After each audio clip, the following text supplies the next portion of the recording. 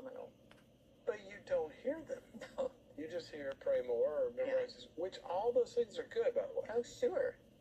But it's like if all you have is a hammer, everything looks like a nail, and for some people that's all they know, and they try to tell that to people. But the actual prescriptions that are in the Bible, when I went back, I didn't know. Am I listening to one of my professors or a supervisor clinically, or am I reading the Bible because God knows how people are made?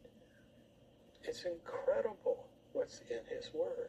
And the days that we're living in are just showing up. I mean, even professors and brilliant people who are not believers are now backing up everything that God's Word says. That these are not days to back away, which is why your book is even more relevant for people who are thinking, like I was with my cousins, oh, come on, Sheila, you need to do a better job here, but not really knowing why. And yet, when I think about it, I